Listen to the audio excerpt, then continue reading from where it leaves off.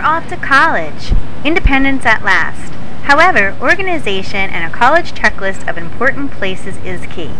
Whether you are a commuter or live on campus, don't wait until the first day of classes to locate important places. Don't be late. The first impression is key.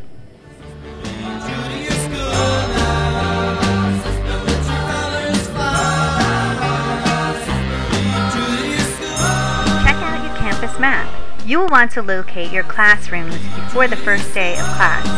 Look around, take it all in. I got a letterman sweater with the letter in print. I got the roof on a train.